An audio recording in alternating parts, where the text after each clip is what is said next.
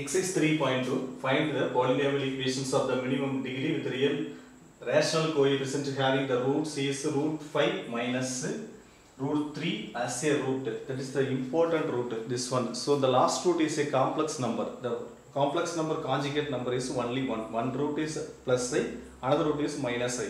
So this one root 3 root of 5 minus root of 3. This is the this one is a irrational number, this is also irrational number. So the possible roots of this root, the first one is this one plus. Change this one, first one plus, that is called root 5 plus root 3, the first one. The second one minus root 5 minus root 3, the second, third root. The fourth root minus root 5 plus root 3. That is the four roots having for this sum.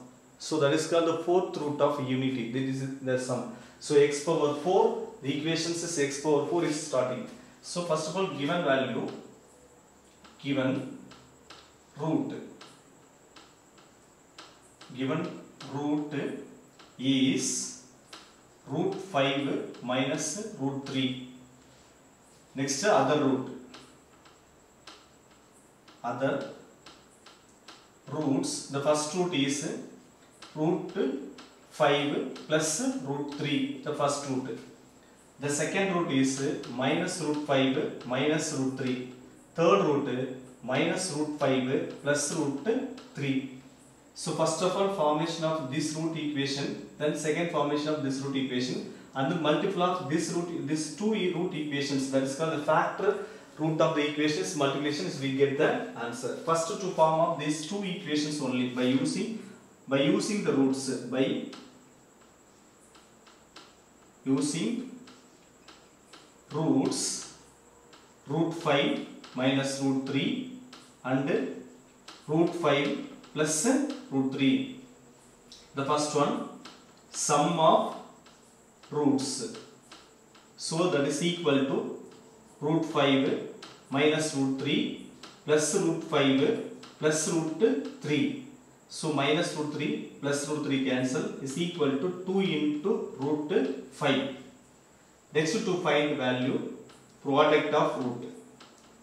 Product of roots. So that is equal to this also root 5 minus root 3 into root 5 plus root 3. So is equal to a plus b, a minus b root 5 the whole square minus of into root 3 the whole square. So that is equal to 5 minus 3 is equal to 2 is equal to 2. So the formula of this roots x square minus of into sum of root into x plus product of root is equal to 0. So therefore, therefore x square minus sum of roots root is 2 into root of 5 into x plus next to 2 that is equal to 0 that is the one of the factor is one factor next to find out let us take by using the roots by using roots or roots are minus root 5 minus root 3 next one minus root 5 plus root 3 next the first to find value sum of the roots sum of roots is equal to minus root 5 minus root 3 minus root 5 plus root 3 so plus root 3 minus root 3 cancel is equal to minus 2 into root 5 that's all. Next product. Product of roots. So this equal to product of the roots is equal to minus root 5 minus root 3 into minus root 5 plus root 3 that is the formula of a plus b a minus b. Simple.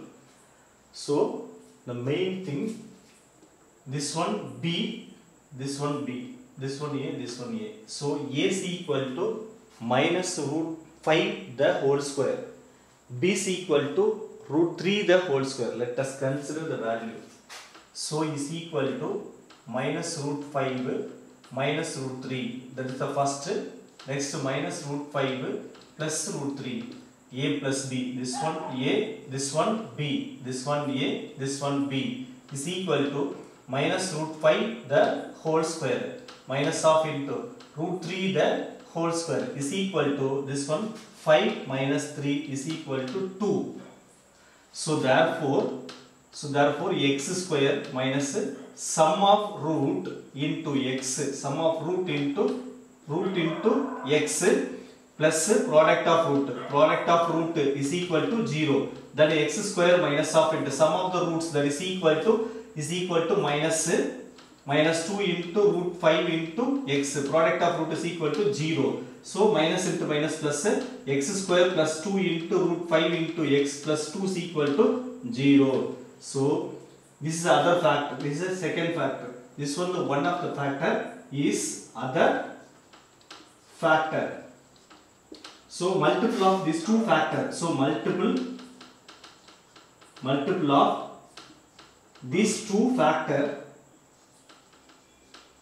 is the first factor is x square minus 2 into root 5 into x plus 2 c 2 next one.